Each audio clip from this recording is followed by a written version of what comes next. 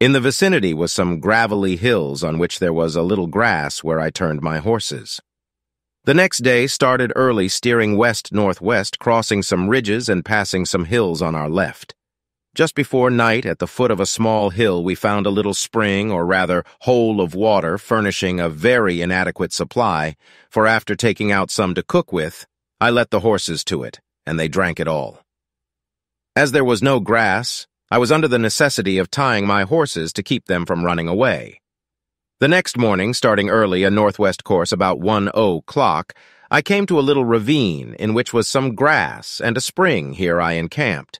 The country since leaving the Colorado has been a dry, rocky, sandy, barren desert.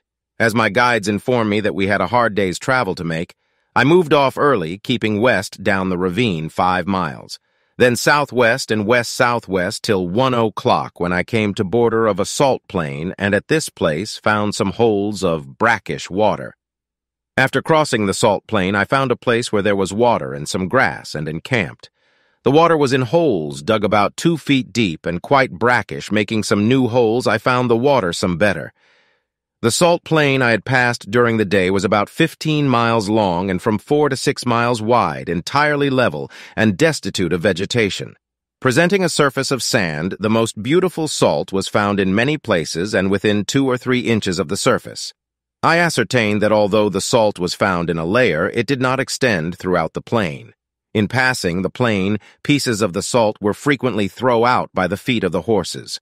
The layer was about three-four of an inch thick, and when the sand was removed from it, I found the salt pure white with a grain as fine as table salt.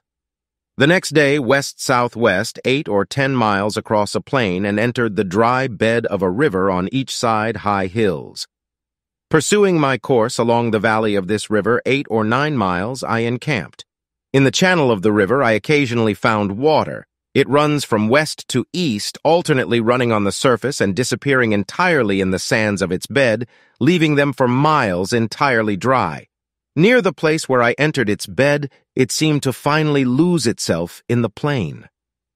It is perhaps reasonable to suppose that the salt plain has been formed by the waters of this river overflowing the level country in its freshets, and in the dry season sinking in the sand and leaving a deposit of salt on the surface. The waters of the river at this place are sufficiently salt to justify this conclusion. At this time my provision was nearly exhausted, although I thought I had provided enough to last me ten or twelve days. But men accustomed to living on meat and at the same time traveling hard will eat a surprising quantity of corn and beans, which at this time constituted our principal subsistence. One of my guides said he knew where his people had a cache of some provision, and the next day, as I traveled on, he went with one of the men to procure some. At night, they returned, bringing something that resembled in appearance loaves of bread, weighing each eight or ten pounds. It was so hard that an axe was required to break it, and in taste resembled sugar candy. It was no doubt sugar, but in that imperfect form in which it is found among nations to which the art of granulation is unknown. On inquiry, I found it was made from the cane grass which I have before spoken of on Adams River, and the same of which the Amuchabas make their arrows. For three days, nothing material occurred. Our course was up the river, which sometimes run in sight and then for miles disappeared in the sands. In places I found grass and the sugar cane, and, in some places, small cottonwood. I also saw the tracks of horses that had been here during the summer. My guides belonged to a tribe of Indians residing in the vicinity called the Wanyumas. Not numerous for this barren country could not support them. At this place was some sign of antelope and mountain sheep. Mr. Rogers killed an antelope which tasted quite strong of wormwood. On the fourth night from the salt plain, an Amuchaba Indian that had come this far with me disappeared. I suppose he had become tired of the journey and returned. My guides had expected to find their families here, but were disappointed. The next day, still following the course of the river, which had a strong current in places 20 yards in width, and in others entirely disappeared in the sands. After a long day's travel, I arrived late at a Wanyuma lodge. Close by were two or three families of the same tribe. Here I remained the following day, and in the meantime was well treated by these Indians. They gave us such food as they had consisting of a kind of mush made of acorns and pine nuts bread, made of a small berry. This bread in appearance was like cornbread, but in taste much sweeter. As there were in the neighborhood a plenty of hares, the Indians said they must give us a feast. Several went out for this purpose with a net 80 or 100 yards long. Arriving at a place where they knew them to be plenty, the net was extended among the wormwood. Then, divided on each wing, they moved in such direction as to force the frightened game to the net where they were taken while entangled in its meshes. Being out but a short time, they brought in two or three dozen, a part of which they gave me. Seeing some tracks of antelope, Mr. Rogers and myself went out and killed two. In this vicinity there are some groves of cottonwood and in places sugar cane and grass.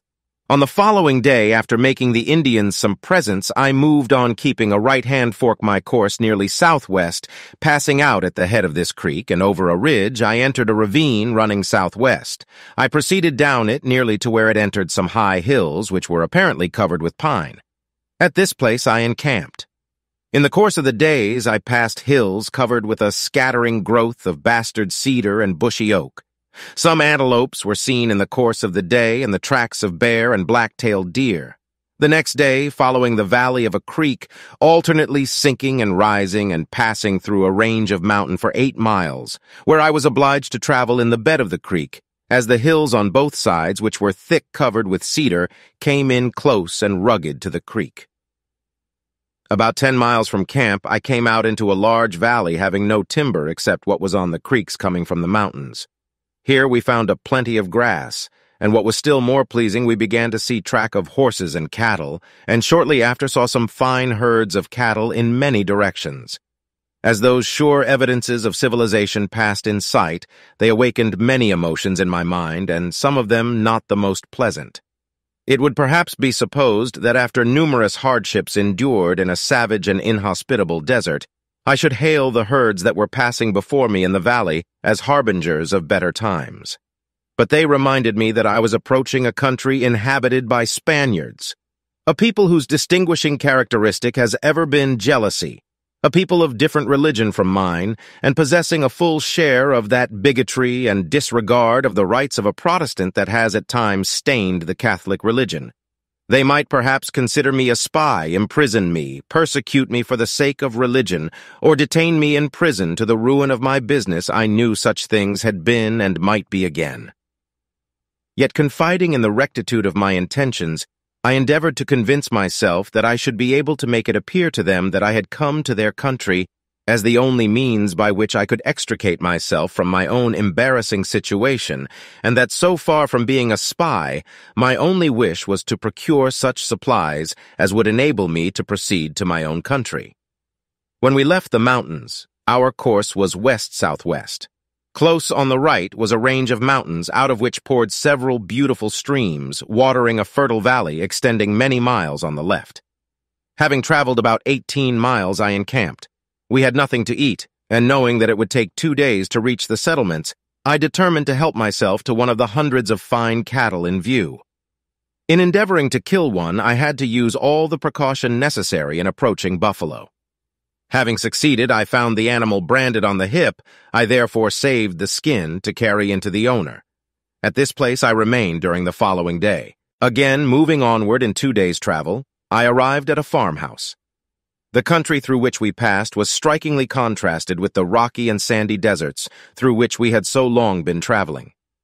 There we had passed many high mountains, rocky and barren, many plains whose sands drank up the waters of the river in spring where our need was the greatest. There sometimes a solitary antelope bounded by to vex our hunger, and the stunted, useless sedge grew as in mockery of the surrounding sterility. There for many days we had traveled weary, hungry, and thirsty, drinking from springs that increased our thirst, and looking in vain for a boundary of the interminable waste of sands. But now the scene was changed, and whether it was its own real beauty, or the contrast with what we had seen, it certainly seemed to us enchantment. Our path was through a fertile and well-watered valley, and the herds of cattle and the bands of wild horses as they sniffed the wind and rushed wildly across our way reminded me of the plains of the buffalo east of the mountains that seemed to me as a home or of the cattle of the more distant prairies of Missouri and Illinois. Even in the idea that we were approaching the abode of comparative civilization, there was a pleasure not, however, entirely unmixed with dread, for we knew not how we might be received. As we advanced, the white brant and mallard were seen in great numbers, it being now their season, and we passed a farm on a creek where a number of Indians were at work. They gazed and gazed again, considering us no doubt as strange objects in which they were not much in error. When it is considered that they were not accustomed to see white men walking with horses packed as mine were with furs traps, saddlebags, guns and blankets, and everything so different from anything they had ever seen, and add to this our ragged and miserable appearance, I should not have been surprised if they had run off at first sight, for I have often been treated in that manner by savages. Arrived at the farmhouses, I was kindly received by an elderly man, an Indian who spoke Spanish, and immediately asked me if I would have a bullock killed. I answered that I would, and away rode two young Indians in a moment. It being the custom in this country, as I have since learned to keep a horse or horses constantly tied at the door, saddled and bridled, and of course ready to mount at a moment's warning. In a short time, the Indians returned, bringing a cow as fast as she could gallop. She was held between the two horsemen by ropes thrown over her horns, and having the other end fast to the pommel of the Spanish saddle, one riding before and the other behind, she was forced along without the power of resistance. They were anxious that I should shoot the cow, which I did. Novel as the scenery of this country was to me, it seemed that we ourselves were a still greater wonder to our semi-civilized friends. As I afterwards learned, they wondered how Indians could be so white, having no idea that civilized people lived in the direction from which we came. It was also a great wonder to them that we had guns and other articles, and more than all that there should be with us one of the people of reason, this being the name by which they were learned to distinguish Spaniards from Indians, and which they readily applied to one of my men who spoke Spanish. The farmhouse consisted of two buildings, each about 100 feet long, 20 feet wide and 12 feet high, placed so as to form two sides of a square. The walls are of unburnt brick about two feet thick, and at intervals of 15 feet, loopholes are left for the admission of light. The roofs were thatched. It should be premised that I had at this time but a vague idea of the peculiarities of the country in which my fortune had placed me. I therefore was in the dark, as to the manner in which I should conduct myself, and determined to be guided by circumstances as they should transpire. In pursuance of this plan, when the old overseer asked me if I was not going to write to father, I told him I was, and immediately sat down and wrote a few lines briefly stating where I was from, and the reason of my being there, an Indian mounting one of the horses that are always in readiness, took my note and was off in an instant. In about an hour, the answer was returned by a man who the overseer told me was the commandant, but in fact a corporal. He asked me how I did, and congratulated me that I had escaped the Gentiles and got into a Christian country, and offering me some cigars made with paper according to the common custom of the country when I would take one, he insisted that I should take the bunch. He then presented the note from the father, written in Latin, and as I could not read his Latin nor he my English, it seemed that we were not likely to become general correspondents. I, however, ascertained that he wished me to ride to the mission, so giving Mr. Rogers instructions how to proceed in my absence, I took my interpreter and, in company with the corporal and a soldier, moved on at the gait that appears quite common in this country, a gallop passing large fields laid out on both sides of the road, and fenced with posts set in the ground, with rails tied to them by means of strong pieces of raw hide, there being also thousands of cattle skulls in rows on each side of the road, conveying the idea that we were approaching an immense slaughter yard. Arrived in view of a building of ancient and castle-like appearance, and not knowing why I was brought there or who I was, to see the current of my thoughts ran so rapidly through my mind as to deprive me of the power of coming to any conclusion, so that when we passed in front of the building and the corporal, after pointing to an old man sitting in the portico and observing that there was the father, immediately rode off, I was left quite embarrassed, hardly knowing how to introduce myself. Observing this, I presume the father took me by hand and quite familiarly asked me to walk in, making at the same time many inquiries. Soon some bread and cheese were brought in, and some rum, of which I drank to please the father, but much against my own taste. I then related to him as well as in my power the course of my being in that country, but it was being to him a thing so entirely new, and my interpreter perhaps not giving a correct translation of my words, he was not able to comprehend the subject, and told me there was an American residing in the vicinity for whom he would send as he spoke good Spanish, and on his arrival we might have a good understanding. In the meantime, he told me to make myself as contented as possible and consider myself at home. He ordered the steward to show me to a room about 20 feet square in which there was a bed taking possession of it. I was left alone to reflect on my singular situation for about two hours, when the bell ringing for supper a boy came and invited me in. The old father invited me to pass up next to him. We were seated on a long bench with a back to it, one of these occupying each side of the table. On the opposite side of the table sat a Spanish gentleman and a father from the neighboring village of the Angels, and the steward of the mission. At my side sat my interpreter. As soon as we were seated, the father said benediction, and each one in the most hurried manner asked the blessing of heaven. And even while the last words were pronouncing, the fathers were reaching for the different dishes. About a dozen Indian boys were in attendance who passing the different dishes to the fathers, they helping themselves, and passing them to the next. Our knives and forks, according to the common custom of the country, were rolled up in a napkin and laid by the side of the plates. The supper consisted principally of meats, and an abundance of wine. Before the cloth was removed, cigars were passed around. I may be excused for being this particular in this table scene when it is recollected that it was a long time since I had had the pleasure of sitting at a table and never before in such company. November 28, 1826. My party arrived and I had my things put into the room which I occupied. The corporal, who was called commandant, came to me, and after a few preparatory compliments observed that the best thing I could do with my guns would be to put them in his charge, where they would be safe for said the strangers visiting you will be constantly handling them, they being a kind with which they are unacquainted. I thanked him for his kindness and gave him the arms, though I knew he was influenced by a motive very different from the one assigned. 29th. Just at sunrise, Mr. Rogers and myself were sent for, showed forward to the table and served with tea bread and cheese. The father was not present for at that time, he was at his devotions. It may perhaps be well for me in this place to give a view of some facts that were in part learned after this time, anticipating my story, that my ideas may be the more readily understood. California was first settled by missionaries of the Order of St. Francis about 60 years since. These missions are scattered over the country and include in their several jurisdictions nearly all the natives of the country. The number of Indians attached to each mission varies from 400 to 2,000. These establishments with their dependencies include about three-fourths of the inhabitants of California. The place at which I was for the time located was the mission of St. Gabriel. The situation of St. Gabriel is pleasant, the prospect to the north embracing a considerable range of mountains at the distance of 12 miles on the south low hills, and on the east and west a smooth country covered with grass.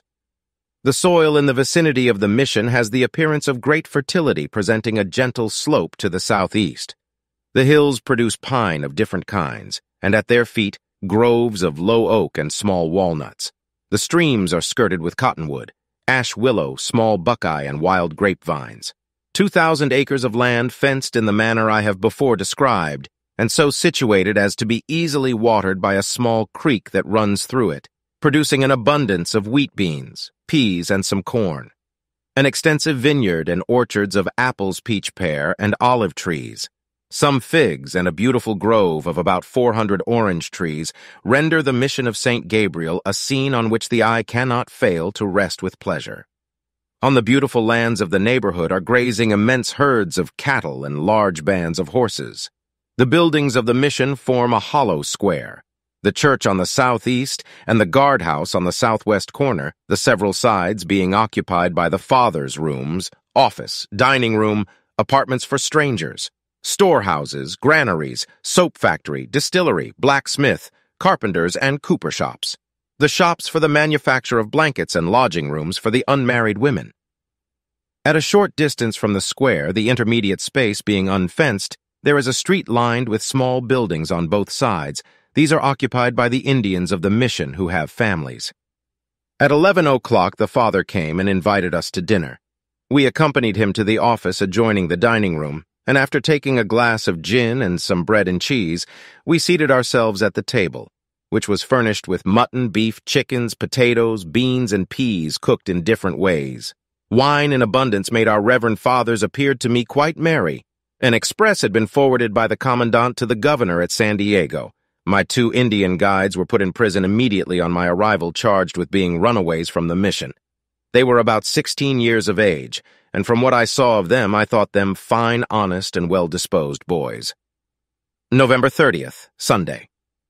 A wedding at church, but I did not attend being a Protestant. I thought it might not be agreeable to the Catholics. The new married couple dined with us, the bride and her sister being the only females present, two or three young men attended with the groom. Mr. Rogers and myself in our unfashionable dress would have very willingly absented ourselves, but no excuses would be received. Our dinner consisted of of more than the usual number of dishes. Dried grapes were served as a dessert. A dozen Indians were playing on violins, and the soldiers were firing their muskets at the door. After dinner, I spoke to the commandant for another room for my men, which was readily provided. I also proposed that instead of furnishing my men with their provision ready cooked, as had been the case heretofore, they should receive the material and cook them to their own taste. To this he assented, but observed that they might as well as not have an Indian to assist them. Flour, meat, beans, and sea were provided in abundance. From this time, nothing material occurred for several days, Mr. Chapman, the American spoken of by the father, came from the village of the Angels, accompanied by Captain Anderson of the brig Olive Branch and the supercargo Mr. Scott. Mr. Scott being a good translator, I was enabled to make my situation fully known. I soon ascertained that nothing could be done until the arrival of an answer from the governor at San Diego. Besides the above-named gentlemen, there came to St. Gabriel at different times two others who spoke good English. John Baptiste Bonifacio, a Portuguese residing at St. Francisco, and on his way to St. Diego, the other Senor Martinez, a native of South America and formerly in good circumstances. But being a royalist, lost his property and sought a retreat among the fathers in California who are generally secret friends of Ferdinand. Senor Martinez had lately been called to Mexico and was then on his way he appeared to be a man of science and business. You will find, says he, it very difficult to make the governor comprehend your business. He has been raised without knowing the hand that fed him as a gentleman, and those Mexican gentlemen know very little of business of any kind and much less of yours. He may perhaps detain you here a long time. He will not consider the expense of the wages of your men, nor your anxiety to join your partners. Improving the opportunity offered by my presence, I learned from Father Sanchez that at the different farms belonging to the mission, St. Gabriel, there were 40,000 head of cattle, 2,000 horses, three or four hundred head of sheep, and a great many hogs of these last, the make little use. There are but few white men at this place, neither could it be expected there would be many in California, for Father Sanchez told me that no white woman had ever come there to live. There are attached to the mission of St. Gabriel about Indian inhabitants who are kept in the strictest order being punished severely for the most trifling offense or neglect. They are whipped like slaves, the whip being used by an Indian, a soldier standing by with a sword to see that it is faithfully done. Having passed the age of puberty, the two sexes, if unmarried, are kept separate, being at night shut up in different apartments. The work of the day having their tasks, the ringing of the bells in the morning, which is quite early, all the Indians go to church and after prayers the overseers of the various branches of work receive their orders from the principal overseer and move off immediately to their several employments. An old man from the Angel village being at the mission invited me to visit him at his house, and two or three days after sent his son with horses. I went taking with me my interpreter and was very kindly received by my friend Francisco Abela. The angel village in which my friend resided contained 70 or 80 houses, the walls of mud or unburnt brick and the roofs of thatch or tile. They were general small and few of them cleaner than they should be. This village is about 10 miles southwest from St. Gabriel. The inhabitants cultivate but little ground, depending on their cattle for subsistence. They are generally poor, but a few families are rich in cattle horses and mules, and among these, Senor Francisco Abela and his brother Don Ignacio are perhaps the richest. In California, as in Spain, the siesta after dinner is fashionable. They generally sleep two or three hours. The Californians are excellent horsemen. When on a swift horse, they catch a wild steer or horse with the greatest ease. They are seldom seen on foot, but mount a horse to go even 200 yards and always carry with them a strong rope made from pieces of oxhide braided, which is called a larse. It is seven or eight fathoms in length, with a loop at the end for the purpose of forming a noose. The Spaniard mounted on a swift horse with his larse in hand, holding it so as to form the noose about four feet in diameter and swinging it around his head to keep it connected, pursues the wild cattle and horses of that country, and arriving at the proper distance while both pursued and pursuer are at utmost speed, throws his noose with such precision as to generally succeed in fastening it to the animal in the intended place while at the same time with his left hand he takes a turn around the pommel of the saddle, which is made high for that purpose, with the end of the rope remaining in his hand. If the animal pursued is a horse, he is caught around the neck and is soon choked down. If a steer, he is caught by the horns, and generally by two persons, one riding before the animal, and one behind holding him between them by their respective larses, with the power of resistance. If it is the object to throw the animal down, they throw for the feet, and having caught and fastened the rope to the saddle, giving the horse a start, the animal's feet are taken from under him at once. In this manner, they can take almost any animal in the country without excepting even the elk. But the principal use of this daring and active exercise is the catching of the wild horse and wild cattle that range the country in great numbers. I am also informed that when a bear can be found in the open country, they are taken in this manner. But they do not attempt this adventure singly. Of the truth of this, I have some doubts. The only bear found in this country are the grizzly bear, smaller than those of the mountains, yet notwithstanding a formidable animal, and possessing sufficient strength, as I think, to take hold of the larse when noosed around the neck and tear it from the saddle, or break it in an instant. December 8, 1826. At this time, the mercury ranges from 50 to 70. Today, the corporal received orders to forward me to San Diego to pay a visit to His Excellency José Maria de Echeandía. Captain Cunningham of the ship Courier of Boston arrived about the same time from San Diego. December 9th, 1826. Captain Cunningham had been trading on this coast since the preceding July, exchanging dry goods groceries and hardware for hide and specie. The population not admitting of a wholesale business, the sales are made in retail while passing along the coast from Acapulco to St. Francisco. At that time, he expected to be on the coast about a year longer. He spoke Spanish and manifested the most friendly disposition and a willingness to render me all the assistance in his power. It was therefore with great pleasure that I learned he was about to return to San Diego and that we could travel in company. At 11 o'clock, all preparations being made, we started. My horses were furnished by government, some being driven along for the purpose of having a change. A soldier was sent by the commandant for a guide to take charge of the loose horses and catch one if necessary. Just before starting, the commandant took care to tell me that he was instructed to send a good and careful soldier.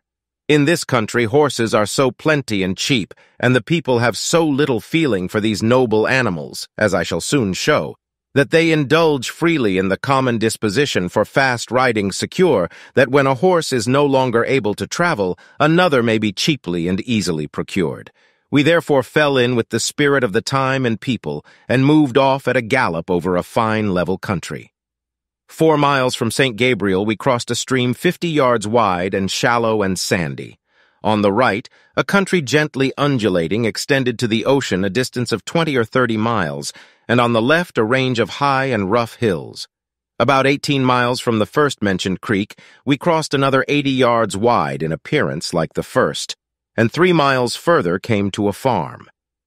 In this distance we had passed many herds of cattle belonging to the residents of the Angel Village, and some thousands of wild horses. The wild horses become so abundant at times as to eat the grass quite clean, my guide informed me that the inhabitants of the village and of the vicinity collect whenever they consider the country overstocked and build a large and strong pen with a small entrance and two wings extending from the entrance some distance to the right and left. Then, mounting their swiftest horses, they scour the country, and surrounding large bands, they drive them into the enclosure by hundreds. They will there perhaps larse a few of the handsomest and take them out of the pack. A horse selected in this manner is immediately thrown down and altered blindfolded, saddled, and haltered, for the Californians always commence with the halter. The horse is then allowed to get up and a man is mounted. When he is firmly fixed in his seat and the halter in his hand, an assistant takes off the blind, the several men on horseback with handkerchiefs to frighten and some with whips to whip, raise the yell and away they go. The poor horse, having been so severely punished and frightened, does not think of flouncing, but dashes off at no slow rate for a trial of his speed. After running until he is exhausted and finding he cannot get rid of his enemies, he gives up. He is then kept tied for two or three days, saddled, and rode occasionally, and if he proves docile, he is tied by the neck to a tame horse until he becomes attached to the company and then turned loose. But if a horse from the moment he is taken from the pen proves refractory, they do not trouble themselves with him long, but release him from his bondage by thrusting a knife to his heart. Cruel as this fate may seem, it is a mercy compared to that of the hundreds left in the pack, for they are shut up to die a death most lingering and most horrible, enclosed within a narrow space without the possibility of escape, and without a morsel to eat, they gradually lose their strength and sink to the ground, making at time vain efforts to regain their feet, and when at last all powerful hunger has left them but the strength to raise their heads from the dust with which they are soon to mingle their eyes that are becoming dim with the approach of death, may catch a glimpse of green and wide-spread pastures and winding streams while they are perishing from want. One by one they die, and at length the last and most powerful sinks down among his companions to the plain. No man of feeling can think of such a scene without surprise, indignation, and pity. Pity for the noblest of animals dying from want in the midst of fertile fields. Indignation and surprise that men are so barbarous and unfeeling.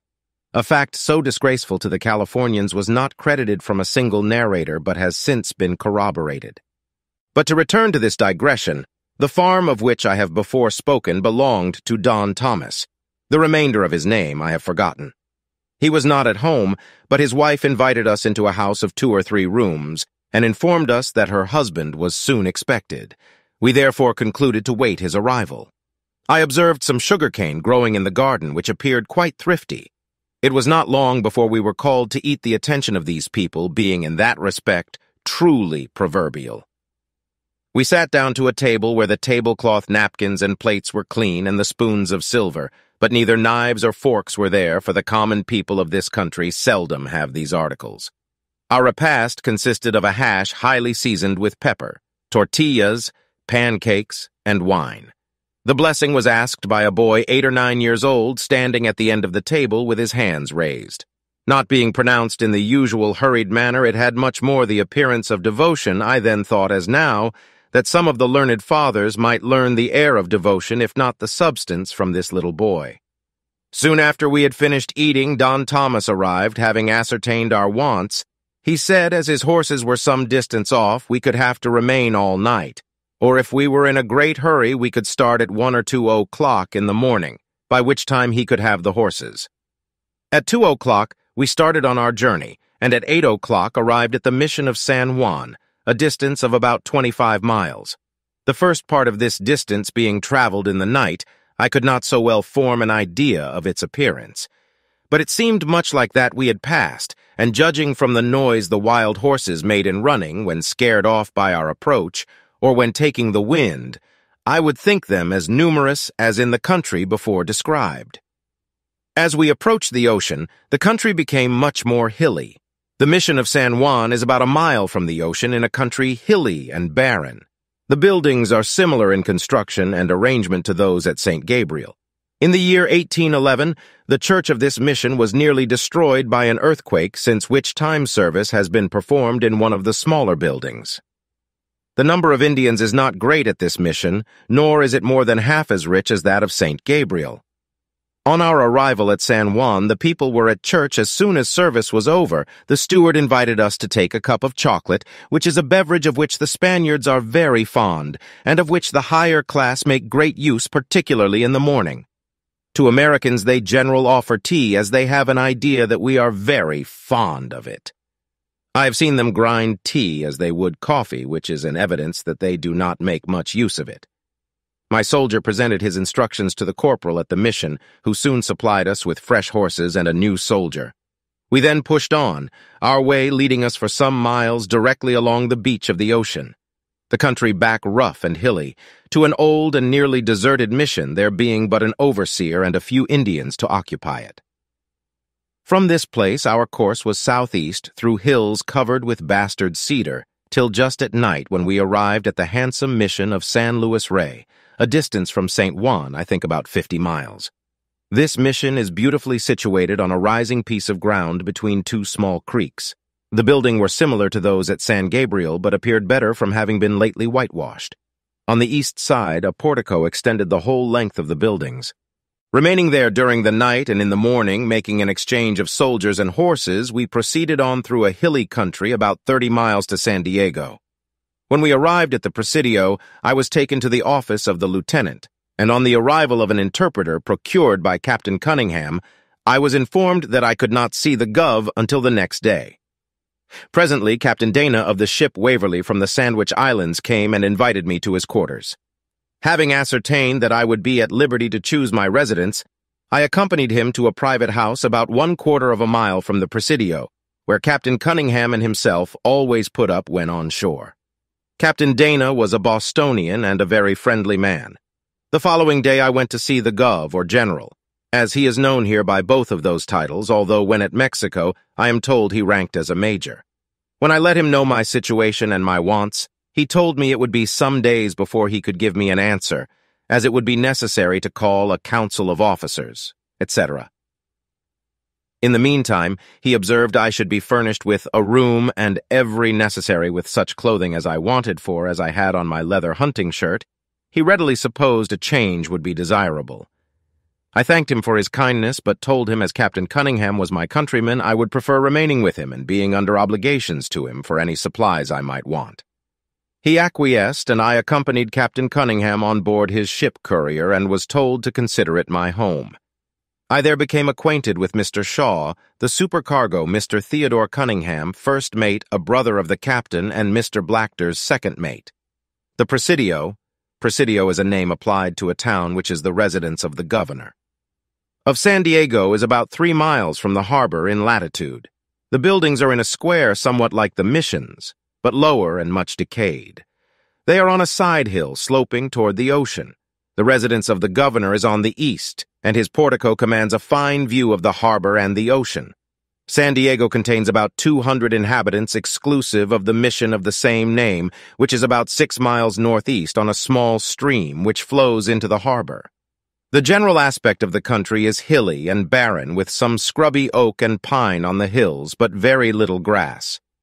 The harbor of San Diego is formed by two peninsulas, one of which projects into the ocean directly opposite the Presidio. The entrance is quite narrow, but having a great depth of water and being entirely protected from winds, this harbor is considered very safe. A blockhouse or fort on the peninsula commands the entrance of the harbor.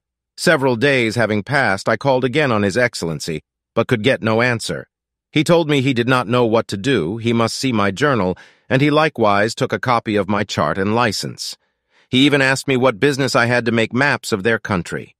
I told him my maps were made merely to assist me in traveling, and must of necessity be very incorrect, as I was destitute of the means for making celestial observations. From this time I was detained day after day and week after week.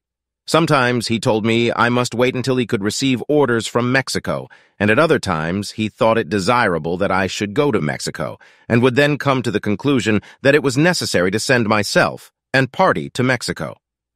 Whilst my fate depended on the caprice of a man who appeared not to be certain of anything or of the course his duty required him to pursue and only governed by the changing whims of the hour, my feelings can only be duly appreciated by those who have been in the same situation. I knew the eager expectations with which my party at St. Gabriel looked for my return. I felt the ruinous effect which my detention had on my business and the gloomy apprehensions which my protracted absence would cause to my partners in the distant mountains. But these considerations never came within the sphere of His Excellency's comprehension, and I was harassed by numerous and contradictory expedient and ruinous delays until about the 1st of January, when His Excellency informed me that if the Americans who were in the harbor of San Diego masters of vessels, officers, and supercargo would sign a paper certifying that what I gave as the reason of my coming to that country they believed to be substantially correct, I might then have permission to trade for such things as I wanted, and to return the same route which I had come in. I had applied for permission to travel directly north that I might arrive as soon as possible on the territory of the United States. But this he would not grant, insisting that I should travel the same route by which I had come. The certificate was made out and signed by Captain William H. Cunningham, Theodore Cunningham, and Mr. Shaw of the ship Courier Captain Dana, and Mr. Robbins of the Waverly Captain Henderson, and Mr. Scotty of the brig, belonging to Baggs and Company of Lima. The governor then gave me a passport and license to purchase such supplies as I wanted. I was allowed the privilege of staying but four days after my arrival at St. Gabriel and strictly forbid to make any more maps for said the Gov. Even our own citizens cannot make maps unless permission is obtained from Mexico. Although the governor had obliged me to go to San Diego, yet he would not furnish me with horses for my return. But I felt this injustice the less as Captain Cunningham offered me a passage on board of his ship which would sail in a few days for Point Pedro, the nearest anchorage to St. Gabriel. I accepted this offer the more readily as it would enable me to have my supplies prepared during the passage for they were to be procured from Captain Cunningham. I had found the governor to more than sustain the character given of him by Senor Martinez, and it will be readily supposed that I left him without any other regret than what I felt for the time lost in doing business that might have been done in a few hours, or might as well have been left undone. Everything being ready, we sailed, and on the third day came to anchor on the east side of the island of St. Catalina. The island of Santa Catalina is about 20 west-southwest from St. Pedro, it is about 18 miles long and 8 broad, having high hills covered with grass, wild onions, and some small timber. Captain Cunningham had a house on the island for the purpose of salting hides. He was about to take some cows, hogs, and fowls for the use of the men there employed. After remaining at the island two nights, we sailed for St. Pedro, which is merely a good anchorage or roadstead. Several cannon were fired as a signal to a farmer that lived eight or ten miles off, who usually made it his business to come with horses to take people up to the Pueblo or to St. Gabriel. As the expected horses did not come, we started on foot and continued until we procured horses to take us to the Pueblo Los Angeles, or the Angels Village. We remained all night at the village, and in the morning I called on my friend Sector Abella and made arrangements for the purchase of horses, and then in company with the captain, Mr. Chapman, and Mr. Shaw. I moved on to the mission of St. Gabriel, where I found my party all well. I must not omit the cordial welcome with which I was received by Father Jose Sanchez. He seemed to rejoice in my good fortune and well sustained the favorable opinion I had formed of him. You are now, says he, to pass again that miserable country, and if you do not prepare yourself well for it, it is your own fault. If there is anything that you want and that I have let me know, and it shall be at your service. I thanked him for his kindness and made every exertion to start as soon as possible. I called on the commandant to ascertain whether I could stay longer than the four days allowed in my passport. He told me a day or two would not make any difference. During my absence, one of my Indian guides who had been imprisoned was released by death, and the other was kept in the guardhouse at night and at hard labor during the day, having the menial service of the guardhouse to perform. I took a convenient opportunity to speak to the father in his behalf. He told me he would do all in his power for his release. From his expression, I took the idea that government had ordered their imprisonment. The fathers had given me some iron, and my smith had made in the shop of the mission as many horseshoes as I wanted. He had also given me some saddles and the leather for rigging them. It was on the 10th of January, 1827, that I returned from St. Diego. The next day, I went down to the courier, got my supplies, and returned to the Pueblo Los Angeles, and put up with my friend Effabella, commenced buying horses, and in a short time had as many as I wanted. When I left the courier, I took leave of my friend Captain Cunningham. Should chance ever throw this in his way, he will perhaps be gratified to find that I have not forgotten his name or his friendship. That I recollect with the most grateful feelings his kind offices in times that made them doubly valuable, and in a country to which he had traveled by the unmarked and perilous paths of the ocean, while my way had been through an unknown land over mountains and parched inhospitable plains.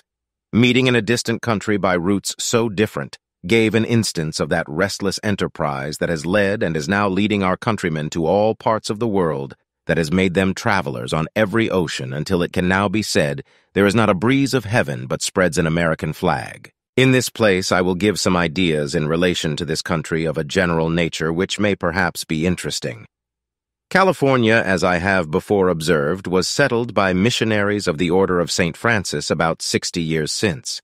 They established missions in various parts of the country, and in civilizing the Indians, and in imparting to them the benefits of religion, they found the opportunity to establish over them the most absolute power. The number of Indians under the control of each mission varies from 300 to 2,000, which are under the care and direction of a priest who is styled the father and who sometimes has a subordinate or two. The Indian has no individual right of property, although he is told that he has an interest in his labors and in the proceeds of the farms and herds of the mission. He has not the right or at least the power to marry without the consent of the father. For the sexes are not allowed to labor together during the day, and at night they are shut up in separate apartments.